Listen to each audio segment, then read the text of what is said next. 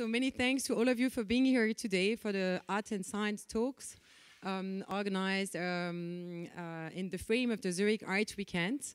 Um, my first thanks will go to uh, Daniel Baumann, director of the Kunsthalle, Florian Dreitschke, um, from um, head of uh, marketing at the Unispital Zurich, Scipio Schneider, founder of Acrush, who kindly really um, from the beginning on like conceptualized these talks and and um, um, made it happen. I also want to thank um, uh, the Luma Foundation for hosting us so kindly today in this magnificent space, and their their incredible teams. Um, uh, team and team members, all of them are, um, have been like working on our sites since the beginning of the organization to make it as beautiful as it could be today. So thanks to all of them. I would also like to thank the City of Zurich for their kind um, support to this talk, as well as um, our lead partner, Mirabaud Bank, the, the financial and, and, and um, group Mirabaud.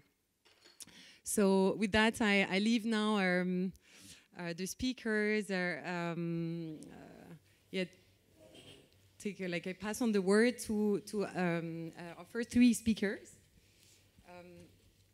Uh, Katja, thank you so much for, for being here.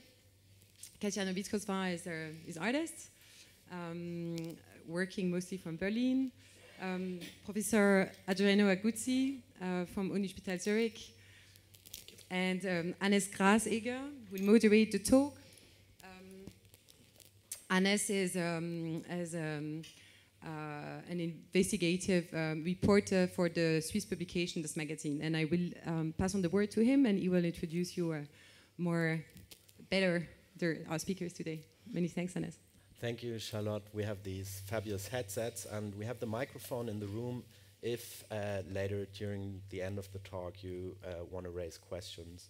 So um, I will quickly introduce uh, the two guests, uh, which will then proceed with a little presentation of their work, and uh, later on we'll dive into a discussion between them, which already started uh, yesterday at the Café Odeon during a brief meeting, and it was really hard to uh, stop these two um, experts from going. And um, let me start in an alphabetical um, order, and so Professor Adriano Aguzzi to my uh, right. Um, he's a medical doctor and a multi-award winning uh, professor at uh, the University of Zurich, where he since 1970, 1997 is the director of the Institute of Neuropathology.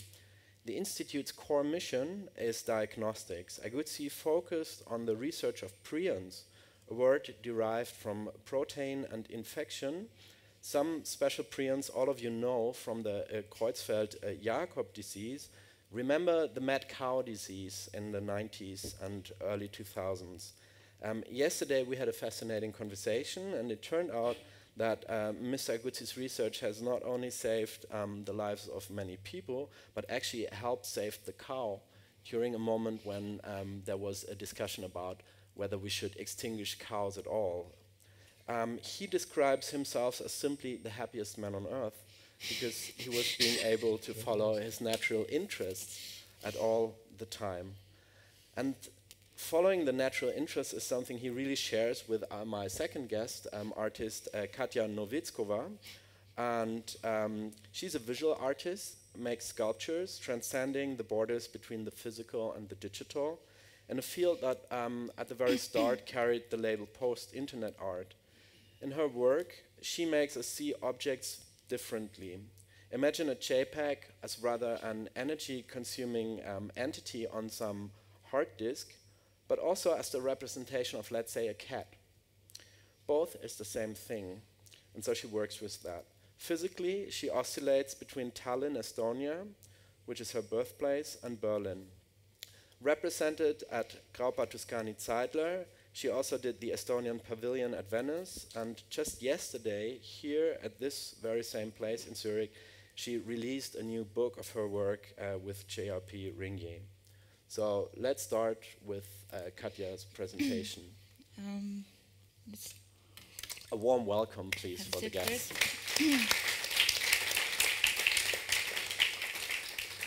so, thank you for coming. Hello, everybody. Uh, I'm just going to jump into it so we don't waste any precious minutes. Um, so this is a, uh, an image. Uh, I'm just going to show kind of the, uh, in the 10 minutes, I'm going to try to kind of talk a little bit about my work through kind of mentioning the evolution of my work from the early days till now. And this is probably the first sort of iconic work I did um, six years ago already, almost.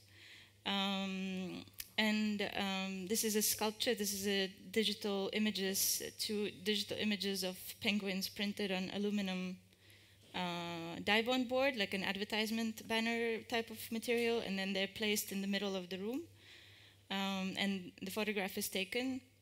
And the original image is from um, kind of a National Geographic type of uh, photograph of of um, parents penguins bonding over their baby. The baby is taken out of the image, so you just have like this kind of arc, and it's one of those. And I've uh, kind of from the beginning, I'm interested in how images have um, how like patterns, visual patterns uh, that we read as pictures that have a certain power over uh, us, and they have a certain energy potential in them. And the power that this image has is obviously that it takes our attention and it takes uh, and it gives us like aesthetic kind of pleasure and it keeps our attention and there's a sort of a, a symmetry about it that makes it um, uh, aesthetically pleasing. And I've been kind of a that was a source of my kind of at the core of my work is this question of why certain visual patterns keep our attention and why certain don't and also why what is the process of making these visual patterns? This is an image that was obviously taken by a human being the penguins. And um, and even with a small child you know it works. So it's almost it was almost like my way of doing a scientific experiment of like placing different types of images in the gallery space and, and seeing how people react to them, how it grabs people's attention and what kind of attention and, and how it keeps the attention. And, uh, and the experiment was that if I use the images that are charged with attention and I make them into art objects, the art will gain as well as form of attention that becomes like kind of its currency, which will in the end possibly allow me to have a successful art object and to be um, to have a career in art. And it was a kind of like it was not fully rational, but it's now looking back at it, you can sort of explain it in this rational experience. But it sort of worked, um, and uh, because these works became successful and they kind of spread everywhere, both as documentation and as like a physical objects. And also, already early on, I decided to embed this idea into the work. So I started to use these red arrows as representations of um, kind of uh, growth and uh, dynamics of attention, but also of value and energy. Uh, and these are sort of the stock images. So it's a kind of taking the existing images of um, animal forms and existing images of kind of our ideas about um, uh, uh, kind of uh, energy and um, resources and sort of combining them. Um, and also, what um, kind of parallel to that, there was this idea that uh, kind of the the expansion, the expanding rise of digital images that we have everywhere, or just images in general in form of art and non-art that we have everywhere at the moment in the world, is also coinciding with um, the rise or kind of the demise of the actual biological uh, you know, ecosystems and sort of biodiversity and all that. And, and the graph of extinction looks similar to the graph of the sort of so-called, you know, economical growth. It's just like the, you know, the reverse thing. So then I sort of incorporate that as a visual element in the work. And uh, kind of moving on, like opening that ecological dimension, I went further into this idea then of looking at images that are not um, that are not made by photographers and are not made to to be meant uh, to be like a National Geographic award-winning photograph, but it sort of more accidental images, more images that capture reality in its complexity. And I started to work with um, kind of images that these are, for example, you know, um, automatically taken um, motion triggered or heat triggered uh, images from uh, like Africa and all over the world that are kind of used by hunters and conservationists. And this is like the image where there was no photographer. It was just sort of the camera as a technology that is taking thousands and thousands of images of passing by animals and kind of capturing the complexity of what's actually happening. And also, in, I'm particularly like drawn to the images where the animal is facing the camera and there's this sort of a standoff, like a wild, wild west kind of um, looking each other into the eye. And of course, the camera eye is like us and so I kind of continued to make um, photographic sort of installation sculptures out of these things that are kind of translations and um, and there's always some sort of you know additional dimension that happens once you translate like a digital image into a material installation. And then I went into um, kind of thinking that about the cameras that take sort of the capture reality in a way that is not fully accessible to us. So like with heat cameras or you know X-rays and all these other ways of seeing that are not um, the same as human eye. Uh, that it's also kind of that this type of seeing that is already assisted by technology is is uh, is sort of our like prosthetic vision as well. It's like a kind of an industry of prosthetic vision that we have a limitation of how we naturally see the world, and then we have all these technologies of different sensors and cameras to expand of what is really um, we're able to see, and that goes as well to like um, kind of the domains like you know the surface of Mars where we've never seen that environment, so we're sending a robot to, with a mechanical eye to take you know millions of images that are then translated through a complex process into photographs. Um, and kind of become part of our visual culture. And also in this translation, uh, this translation hits a bias, a human bias of um, needing to identify kind of patterns and meanings in um, in uh, in kind of the environment, in the unknown. So the main biases are always when you know a human person looks at a at an image. There's an abstract image. You always want to find a face or some sort of um, mysterious um, structure. And so there's kind of a, uh, with any form of um, visual information, which is also especially now relevant with the sort of info war context that we live in, there's always the kind of um, tendency to identify certain things that are not fully there. Um, and uh, this is like an uh, example. This is a lab for like a Mars rover where they're testing the robot who is like seeing the world and how it's navigating the world. And I kind of uh, inspired from that. I made this installation in 2014, which is basically combining um, uh, sort of this, this uh, imaginary uh, Mars uh, landscape with the sort of a creature that could be there but could be not there instead of having a robotic rover is just like a weird bird-like um, form, and a red arrow that uh, just became part of the landscape, which is also could be like a creature. And there's also kind of a callback to um, to uh, to the story that uh, you know the moon landing was um, uh, filmed by Stanley Kubrick in a studio in Hollywood, and that all these like Mars like kind of conspiracy theory narratives of like all the Mars photographs and all the moon photographs and footage is actually just filmed or constructed in a digital image lab or in a film studio. And so we kind of did that. And sort of I went further to objectify, for example, the element of a growth and um, like red arrow, the sort of the the economical growth, the resource expansion, the crisis, like all these things that we use to visualize kind of resource dynamics um, and economics as a kind of an object in itself that sort of uh, creates an illusion of um, accurate visualization of something, but it's not really. It's just a, it's just kind of a trigger. And after that, I sort of moved on to um, thinking about not just images that are made by robots that we have to look at, but also um, images that are made by robots so other robots look at them. So like images that are made by machines for other machines to look at.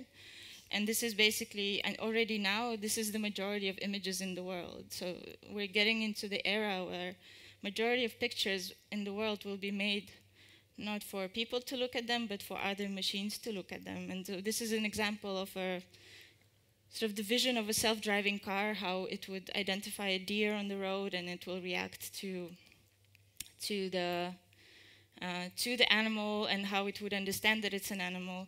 So this whole question of machine vision and pattern recognition that is not human, but also mm, patterns that are recognized by machines and the kind of biases that can be there and the human biases that trickle into machine biases.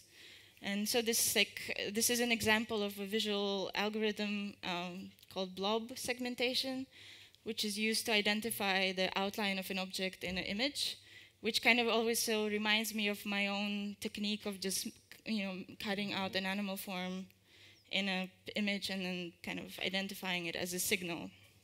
Um, and this is a Another example of um, where they're trying to, for example, use the same techniques to analyze brain scans for you know certain certain um, you know the kind of the geography of the of the brain. Um, and this is like an example of a lab image of um, kind of identifying the bodies of these lab worms and their trajectories and their you know, and the presence of eggs or the absence of eggs. And it's all done kind of, you know, it's a creature that lives in the lab that is being that is being documented on video or still image, and then these images are then analyzed by the algorithmic sort of um, uh, uh, machines, and then that information is then represented again to human scientists to look at. And so I kind of um, decided to make um, you know, to sort of introduce these new realities into my work as sculptures and to kind of almost make monuments for them because they're also sort of on the frontier of these new developments and they're not fully acknowledged. Like everybody knows about sort of the political aspect of um, and you know of uh, kind of the digital revolution, let's say, and sort of the personal, uh, the human aspect, like the Facebook and the NSA and uh, you know whatever. And there's this all other sort of ecological dimension to it that is interesting, that is reflected in environmental sciences, or it's reflected you know in climate sciences. It also reflected in biotech, you know, sciences that I'm interested in. So we kind of, and I'm getting I'm getting there, and. Uh, and so I started to make works that are kind of using the lab aesthetics as a, a kind of to monument, to create monuments for these things. Um, so this is like um, kind of fruit flies, lab fruit flies sitting on molecular um, protein structures. It's kind of taking things out of scales. This is a human embryo sitting in a park in New York. uh, and this is a CRISPR edited human embryo. It's from the news story about the CRISPR thing. Um, and so I just kind of take, kind of create a surrealism out of it almost, but also just present it in an open space. And the book, the, the book that uh, you just mentioned, the JRP uh, publication, uh, it was made with the same interest of taking a lot of my research uh, and a lot of my documentation of my work and um, the, the, designers of the book, they developed a machine learning kind of algorithm to process all these images and, and for the algorithm to spit out like the new pages. And so the algorithm kind of decide what goes onto what page and the kind of colors that were changed in the book and in the images. So the book is like kind of actually, I made the book, the designers made the book, and also the algorithm made the book. And so that's like a collaborative. It's the first time that I'm doing something like that. And so it's very interesting. You can get the book for free if you go to the JRP office here today. Um, and the next logical step that I'm finishing with is that in the end I started also to make sculptures that are machines and that are using uh, kind of images of you know medical uh, lab uh, scans as their membranes, as their bodies, and uh, this idea, you know, this kind of going into the uh, sort of this the Terminator that doesn't look like a human being, but sort of rather like a weird animal direction. And so I've been kind of doing these sculptures, um, kind of that try to summarize all these uh, topics in in a, in a form, in a physical art, art, form. And so that's basically that's the last you know news from me. so thank you. Thank you so much.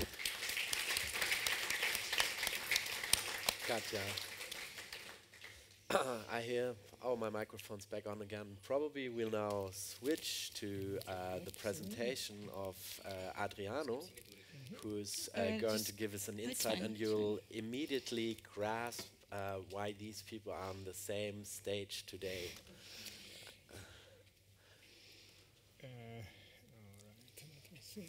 So I really want to say that this was totally fascinating. I think that uh, the forms and uh, the creations that you make uh, resonate uh, very strongly with me, and uh, so congratulations. And it was.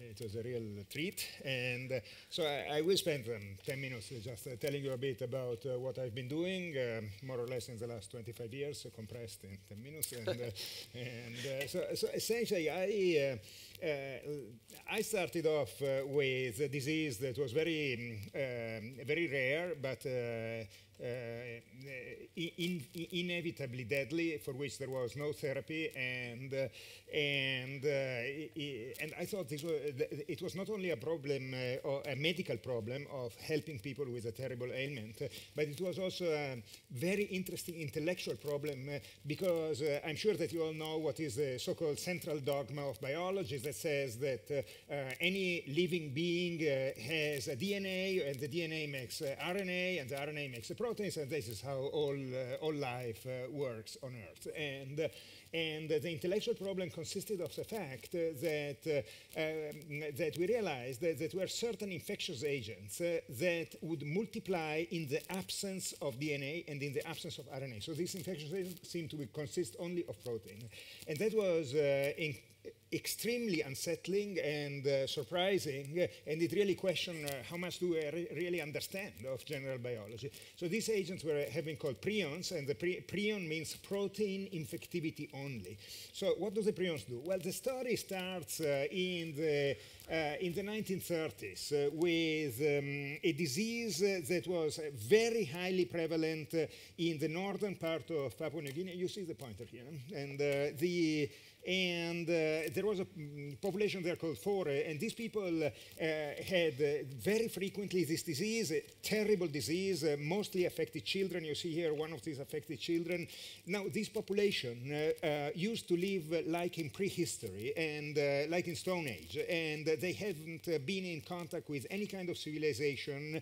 And when and a couple of missionaries went there into the in the 1930s and 40s, and then actually what happened was that there was a neurologist from New York, his name was Carleton Gajdusek, who um, had, um, he wanted actually to do a postdoc in Australia, went to Melbourne and uh, went to a very big lab of a famous immunologist, and, uh, but he was a very flamboyant and very, um, yeah, uh, socially awkward person, and uh, he managed to get kicked out of the lab very quickly, and, and then he was there in, in Melbourne and didn't know what to do, and then he met another person, an epidemiologist called Zigas, and uh, Zigas told him about uh, this story in Papua New Guinea, and it was not really understood. And uh, Gajdusek uh, thought this was interesting. And Then he went to Papua New Guinea. Uh, he lived with these people for several years. Uh, and what he found out uh, what, was that these people had cannibalistic rituals. So when somebody would, and you know, there was nothing really belligerent about this. It was, it was a ritual. When somebody would die, they would make a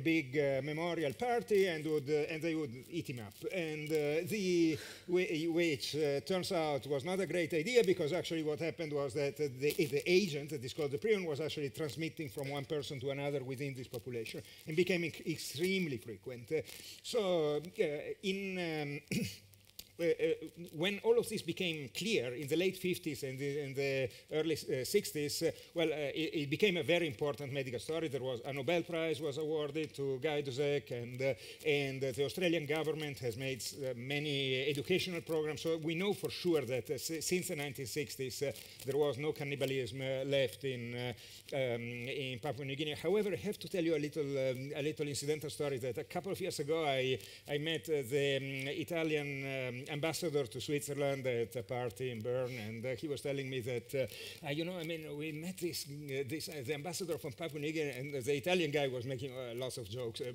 sometimes inappropriate jokes, and and so so he was telling him, yeah, you know, the yeah, Papua New Guinea, I, but I thought that so you guys have been cannibals, and so the guy was completely shocked, and so what do you mean? I mean, we the, the last cannibal in um, in Papua New Guinea, we, we ate him up 40 years ago. so anyway, the um, uh, the so, so uh, some diplomatic incidents uh, notwithstanding, uh, the, the, the, Kuru was essentially eradicated. But then what happened was much later, in the 1970s and 80s, um, the, and here you, I, I, think it's very interesting from a cultural view, viewpoint to see what happens to um, to when ideology takes over science. And the ideology at that point was uh, it's, uh, uh, you know, when you slaughter a cow, there are actually small pieces of the cow, ma make the filet mignon and stuff, and, uh, and go into the into the restaurant. But much of the cow is actually not utilized, and uh, and the idea was, well, this is a real pity, and uh, instead of throwing away 90% of the offals of the cows, let's let's make protein out of it. let's dry it and make a so-called meat and bone meal, and this can be recycled and put back into other cows. And this is the cycle of life, and everything is very green, and it's and and uh, it's very uh, ecological. And, the, and, and, what happened was ex exactly the same thing that happened with, uh, with Kuru, the, which was the disease in Papua New Guinea. That is, the prions that were present in the cow were transmitted to other cows.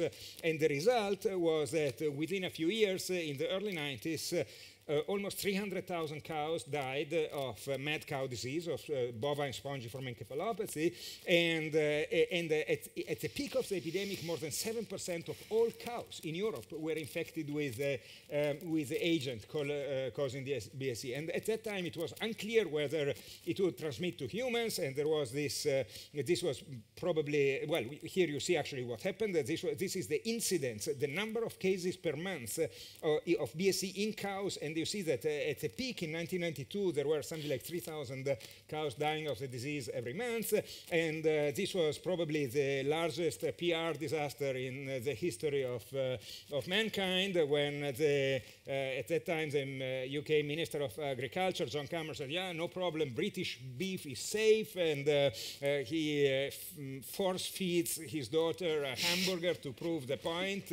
And so, but then, of course, it turned out that beef was not uh, was not safe, and actually um, the the cows probably the, the, whole thing came probably from the sheep. There is a disease called scrapie in sheep. Then it transmitted to cows, and then eventually it did transmit it to humans as well. And this is these are the number. So this is the epidemic of cows, and this is the epidemic of what is called variant Creutzfeldt-Jakob disease, which is the transmission of uh, mad cow disease to people, and 300 people died. So a horrible tragedy, a completely preventable tragedy out of uh, Uh, hubris, uh, out of uh, disregard for scientific notions. Uh, and, um, uh, and even in Switzerland, we had this is the incidence of what is called classical Creutzfeldt-Jakob disease that has always been there, has nothing to do with cows until 1999. And my institute has been conducting the surveillance for this disease for the last 20 years, and uh, what we have seen is that uh, starting in 2000, there was a, a, blip, and these are the cases that, that uh, were most likely transmitted from the cows. so the, we don't know how where things are going because, because few, well, 300 people died, which is horrible, but it was not 3 million people. And, but however, many people may actually have been infected themselves, and, and uh, you know these people donate blood. They may transmit the disease through blood, and so, so we're not yet at the end of the story. The story is not uh, no longer in the media, which is uh, uh which I'm grateful for because I had enough uh, of media. But uh, but um, but the story is not finished, and so so what are these things? well, now I um, give you a 90-second introduction into prion science. so essentially, what how this works is that there is this protein. this protein is called PRPC, cellular prion protein. It can convert in, in the prion, and the prion is essentially a misfolded version of the same protein, which aggregates and makes uh, makes uh, this crystal-like structure. And these are really the things uh, that damage the the brain. And I will skip this, but I just tell you one experiment that I performed together with my mentor Charles Weissmann in well more than 20 years ago. At that time, it was totally unclear whether any of this was true. It was the nature of the prions was completely um, mysterious. Uh, but uh, what we postulate is it was that well maybe maybe if the, maybe there is a normal prion protein and then the pathological prion, the agent, the infectious agent. What it does is that it associates with a normal prion protein and it converts it into a copy of itself.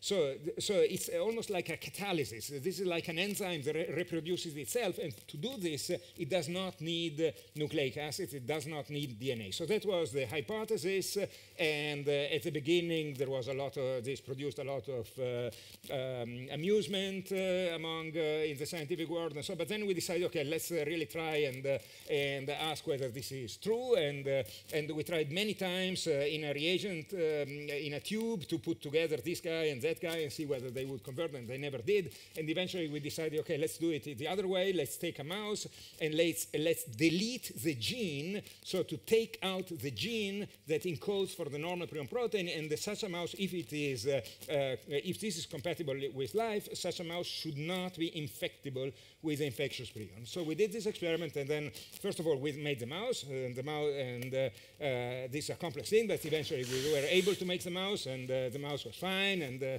yeah, I, I, I, know I should not make this kind of jokes, but um, the but you know in Switzerland we are very strict about animal protection, and um, but um, but anyway, the, the mouse was alive. The mouse was alive, and actually it was um, pretty normal, and uh, and then we infected it with prions, and it was not infectable. So which essentially proves the hypothesis. It proves the idea that uh, that this is how it works.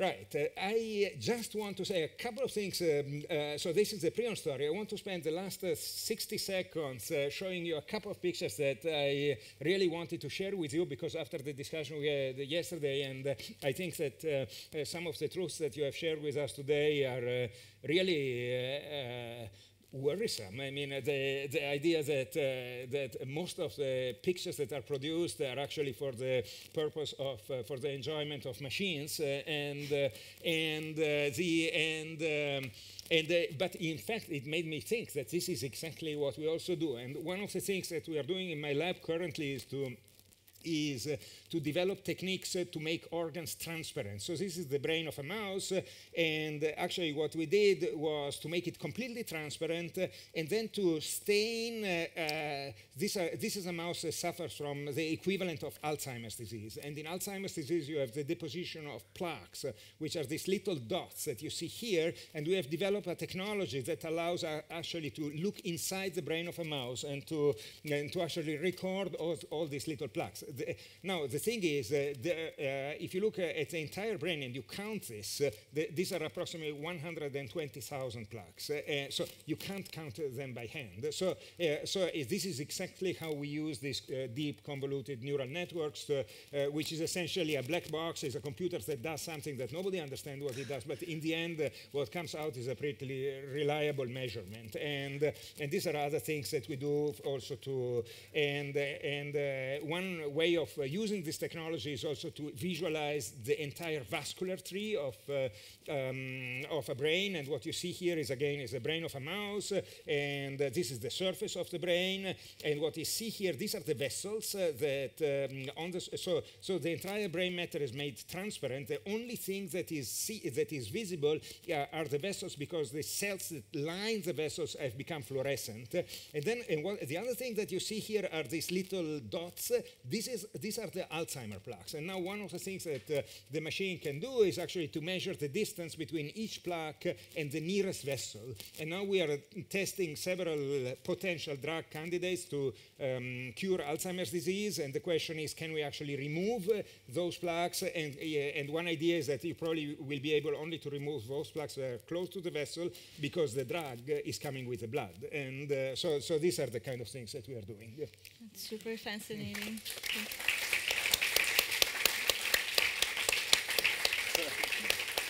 That was, that was um, how much, how much, I mean, we're talking about art and science, and he's a medical doctor, and how much does an artist have the intention of helping? I mean, he's curing diseases. How, how do you see this? Um, no, I can't even help myself, so I'm not, I'm not going to help anyone, I'm afraid. but I, I, I, have to here. I have also to make a confession. Uh, I think that uh, yes, of course, it's um, uh, it's wonderful to do something for mankind and so. But uh, if I be um, totally honest, and I always try to be very honest about these things, uh, the motivation to do science uh, is primarily curiosity. It is to understand how things work, how uh, biological process, which may be a disease, but maybe a, also a completely normal biological process, how it works. I think that this is uh, uh a primal uh, need of, uh, of all human beings. I think that is, uh, and but but I would be lying if I would say that all that I do is primarily geared towards curing disease. the the primary motivation is really to understand things. But Katja, if I if I may ask you again, um, so uh, Adriano spent his whole life dedicating on on one very particular issue in life. How do you he's ultra specialized. and, um, so yeah, I mean, uh, I'm also basically trying to, uh, you know, the only thing, the only work that I'm excited to do is the one that also captures my curiosity or you know it feels exciting to be doing. But I kind of, since my approach is like from this flat perspective of I'm interested in kind of the vastness of digital images and kind of the visual culture, it's much more generalized because I can jump from one field to, to another with just a couple of clicks. You know, I can just take this image from a scientific image, and then I can take uh, um, an image of an ancient sculpture and combine them. And I have the freedom as an artist to just be jumping between different disciplines and through that, I uh, am kind of trying to understand what's happening in the world. And I guess uh, his is like the opposite, where you like focus, and then through that, you also still remain yeah. on the same kind of trajectory of but I see that uh, I, I, have this feeling that our motivation is very similar yeah. because you're also delving into science and uh, CRISPR and embryology and C. elegans, and uh, in a way, uh, I, this is pretty similar to what I do because yes, the question is one and always the same, and uh, I will not relent until I solved it. But the methods uh, are all over mm. the place. Yeah, and, yeah, and it's also like about basically just trying to understand the world. That's yeah, just through exactly. different means, yeah, or like absolutely. engage with the world. But you're you're you're working with um, uh, imagery a lot, and there's this uh, word of folding proteins, mm. which is kind of a mental image to help us understand the process.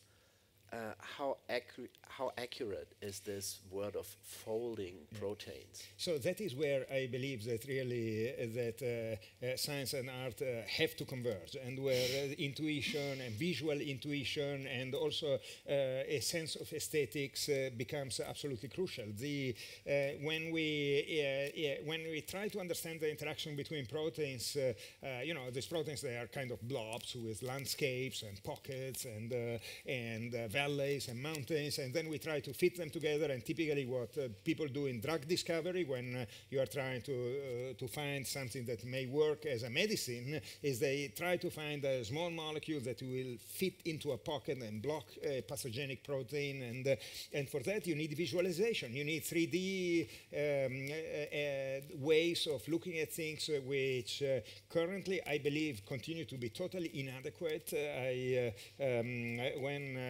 when uh, scientific journals uh, publish uh, protein structures, uh, typically they have two stereoscopic images, uh, and then you have to kind of cross your eyes and try to put them together in order to uh, make them look like a 3D thing. And this is completely awful. And the and you know, and that's where I think that you, the, the, kind of intuitions that you have, and also looking behind the structure and and trying to understand what at, at, a higher level that is where th there is a lot of convergence.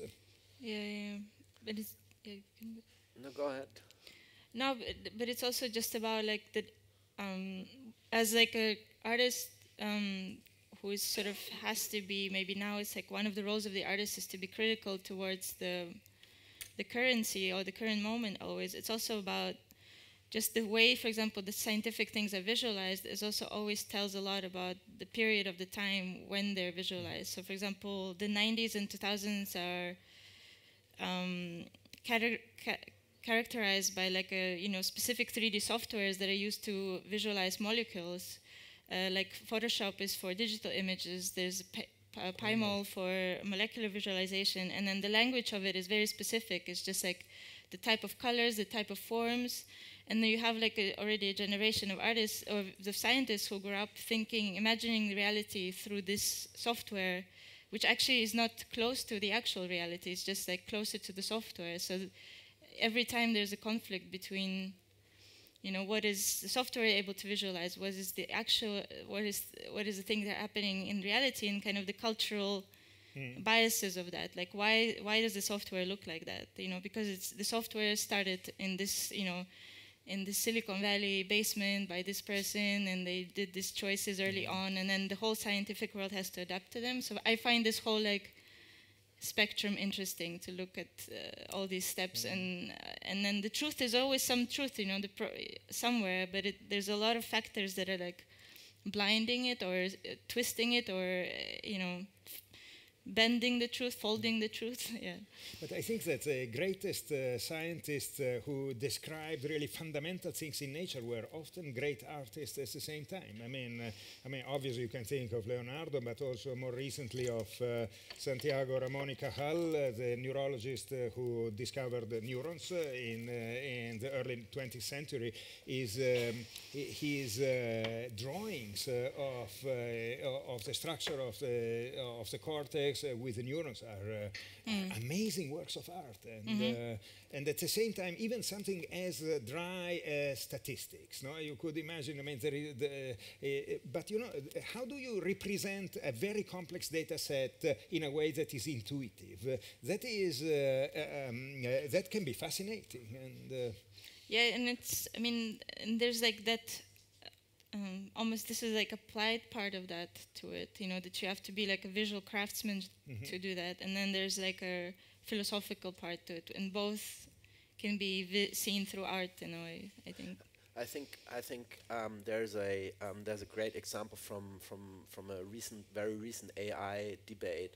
Um, uh, um, so in that text, the author describes um, that his his child, um, unborn child, was diagnosed with a high probability of a certain disease, and then he figures out that um, it's actually very probable that this is based on the machine which was used to detect that um, disease, because they have recently changed um, the the resolution of that, and so um, the granularity doesn't suffice, and so it mm. produces these uh, misrepresentations coming up as black dots. Mm and telling the, the doctor, oh, there's a high probability of a certain dis baby disease.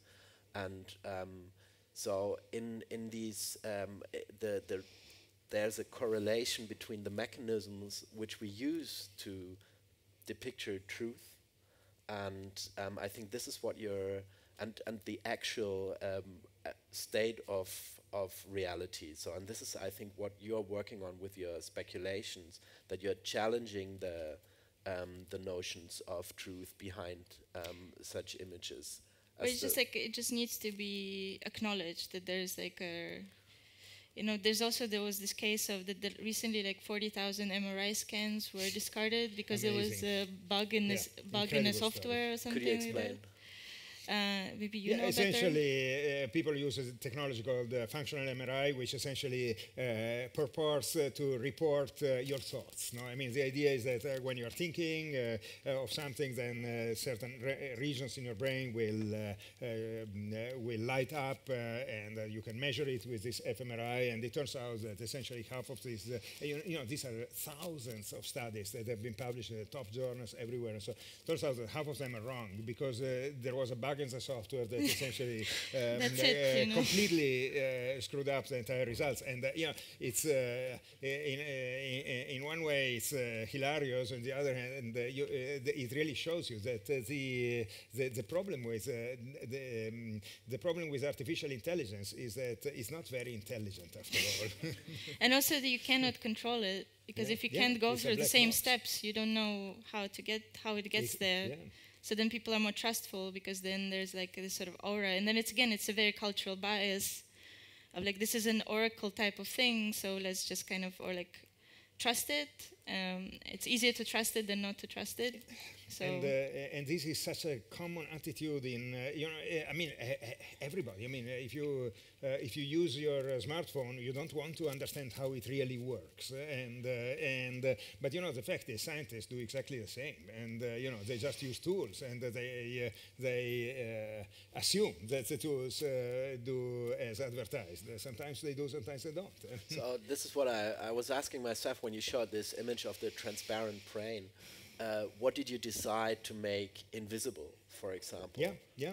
That is uh, uh, exactly thi- this, and uh, you know, and I think that something that uh, needs to be realized here is that all these images are completely virtual. They, they, uh, this is not a photogram. Uh, this is uh, A data set. yeah, it's a data set that has been represented in a way to make it uh, graspable by a human brain. But uh, but uh, it's actually half a terabyte of data that, uh, uh, uh, which uh, in its raw form cannot be cannot be understood by a, by a human. By the way, uh, I, um, I also printed one such image uh, on the top of my laptop because I wanted to find a way to um, prevent it from uh, being uh, um, uh, inadvertently picked up by somebody else at the airport queue. So I, uh, and uh, but uh, but uh, you know the neurons are, uh, do not have rainbow colors. so, no, but, uh, no, they don't. So, so let's get a bit more fundamental. If we speak of of um, an experiment, um, what is an experiment in science, as opposed to an experiment in the arts? So, You go. let's start with you, Adriano. So uh, uh, I have uh, my thinking about what is a, an experiment or what is a good experiment has evolved. Uh, I think that 30 years ago I would have said uh, it takes a lot of knowledge uh, and you have to consider everything that was done until now and uh, integrate all this data and then formulate a hypothesis and then do an experiment that will challenge that hypothesis. And that is essentially the theory of science that was uh, promulgated by Karl Popper some 50 years ago. So Popper said um, anything in science, any hypothesis in science must be falsifi- falsifiable. That is, uh, you're not trying to prove something, you're actually trying to disprove something. Uh, so you formulate a hypothesis, there's an experiment that will destroy this hypothesis, uh, and if you destroy it, uh, then the experiment is correct. If you can't, uh, then, uh, then the hypothesis stands, but it's still not proven. Then you have to do another experiment. Now, that is, th- that is the classical way of doing science. In the meantime, however, there is a, a very different um, way of doing things, and this is very technology driven. And the idea is that uh, if you um, if you have a problem, you should actually try, if technologically possible, you should try to reproduce every single conceivable instance of that problem uh, and uh, in, a, um, a- in a very large scale manner, and then ask, okay, I mean, I do this experiment with a million variables, uh, and I do it a thousand times, so a billion uh, experiments, and then I can find the ones that uh, give me the correct answer, and because I have covered the whole field, there is no way I can be wrong. Now, the, um, the interesting thing is that uh, these uh, uh, large-scale experiments were unthinkable until a few years ago. But now you can actually do it in many ways. I mean, you can do CRISPR experiments on the entire genome. You can uh, uh, inactivate, you can take uh, like uh, 20 million cells, and in each cell you can inactivate one different gene so that you cover the inactivation of the entire genome. And so Uh, so um, uh, this type of um, large-scale experimentation was uh, very often and still very often dismissed uh, as uh, what people call fishing expeditions. Now you don't know really what you're looking at, so then you try a million different things. In reality, if you do it right, it's a very powerful method.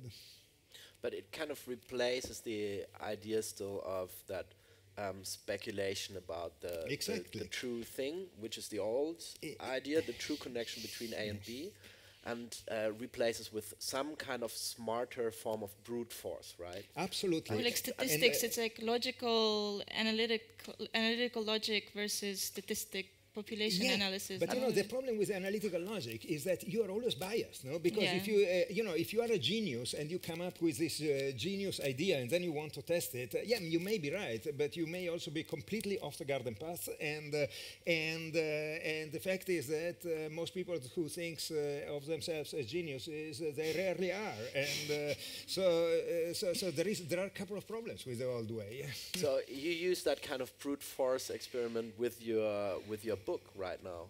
Yeah, That's an and and it's the best uh, book maybe I've ever done that proves that maybe I should have done it a long time ago.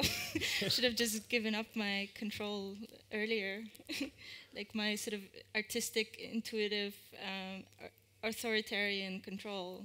And maybe it's more fun to like open it up more and to introduce these unexpected factors that are then make the whole thing kind of more interesting. And it's obviously like it's not one or the other. Like I guess what we also mentioned yesterday, it's always the combination of things that mm-hmm. are that produce the best results. So you, you can have the utmost personal, subjective, emotional human intuition versus a statistical data set, and maybe a combination of these two things generates something interesting.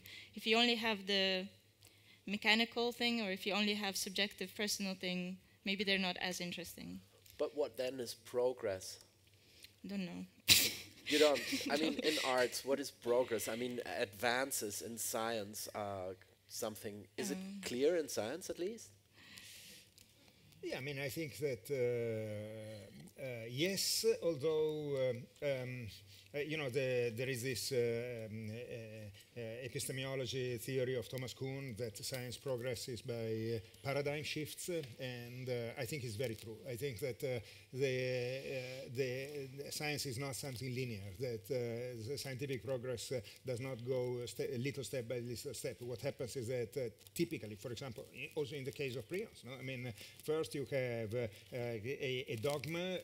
Every life form, every e- e- every infectious agent has a DNA. Then uh, somebody finds something, some results that is discrepant. Then mm, the community finds it ridiculous, dismisses it. Uh, then all of, then some additional data come up, uh, but still the uh, the common uh, uh, the the uh, common consensus is that this cannot be. And but so people try to explain away things or just ignore them, and then all of a sudden, then all of a sudden there something happens that can no, no longer be ignored, like mad cow disease or so, and uh, and then there is a paradigm shift. Then the whole the whole old theory, old theory falls apart, and then uh, here you have a new mm, theory, and then those people who were saying that this cannot be true, and so then uh, all of a sudden say, ah, maybe there is something to it, and then at some point uh, everybody says, ah, but uh, I said this all, all along, and uh, but it's you a similar like it's interesting. I mean it's sort of like also what happens in the art in a sense of in terms of um, you know uh, movements or Right. in terms of um, eras and um, so i you know i was kind of a witness to that i was part of that myself where you know you you start um, you know in in 2010 you know i'm just like a student who just did a sh- like a, mm, a poorly conceived little thing with some friends and then three years later i'm in one of the main museums like in Kassel uh, because i entered a certain bifurcation point of a switch in the arts between different um, sets of um, interest points. So the, the, I was in the point where the art world was very interest, like open for something very fresh in a very specific uh, field that I was somehow part of, and then it kind of, you know, presented this um, very dynamic uh, moment for me that I was able to go not just me, but I'm just saying it's like a whole you know whole population of artists of younger you know my generation. And so then you kind of live through that, and then you sort of see how that happens. Now I see like with other generations, how with the newer generations, what kind of things are happening. So there's a lot of like these, these sort of moments, or like, you know, you can use the word trend, but the trend is um, not in a dirty way, but in It's a way that how things are state of the developed. You know, like, understanding. like flows of things yeah and so like i think it's the progress the, the word progress means that there's a sort of a prog- like a value progression and i think in terms of like different trends it's just like it's more sort of ecological that you kind of like see okay this is now the trend of thought this is what's happening this is what's happening and i don't it's not like we're moving towards something better it's just there's a constant motion of things, motion of factors, motion of people and cultures, and things are changing in an interesting way. And for me, that is super interesting to observe and to take, to be part of. But I don't like the word, you know, the 20th century word progress is like something else that maybe I don't think art can be seen from this. Um, it's not a, it's not an Olympics, you know. It's like a, it's a different thing. So, would you have an ultimate aim, just to conclude this little session, for you as an artist or you as a uh, scientist and researcher?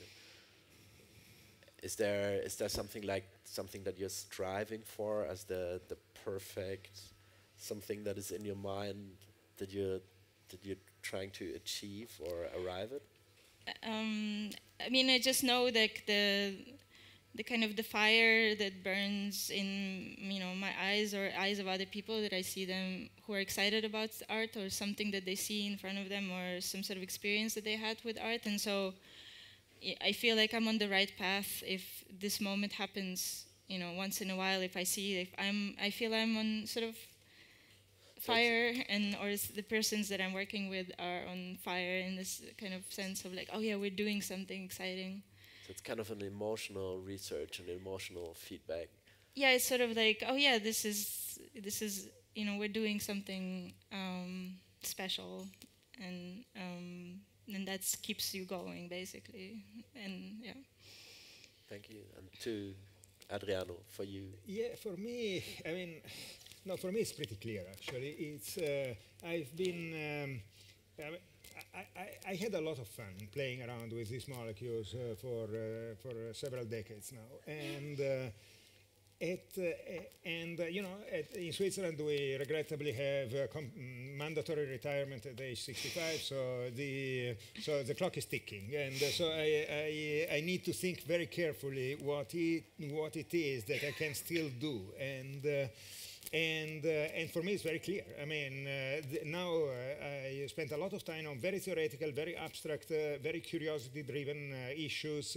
but in the end, before I go off the scene, I, I really want to create a therapy. I mean, I want a drug. I want to have something that, that will eventually help people. So, so, the, so my lab has transformed. I mean, we, we have shifted. We're still doing a lot of basic science, but we are also starting to um, do things that are very much directed towards um, inventing drugs. Uh, and, uh, and then I realized that I, can, I can't uh, go all the way towards a drug uh, in my academic lab because, uh, because, uh, because we are not a company. I mean, drugs uh, need to be done by industry. And, uh, and the specific type of drugs that I have in mind, I was not able to uh, to get uh, uh, uh, to get to partner with some of the big uh, drug companies. So I founded myself. Uh, I founded a drug. Uh, I mean, a little biotech company called Mabylon, and uh, and the idea is that they will push forward the stuff that has been developed in my lab.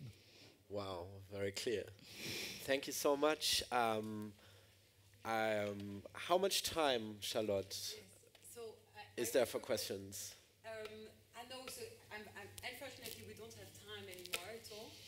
So I, I, I'm just going to thank you all for being here today.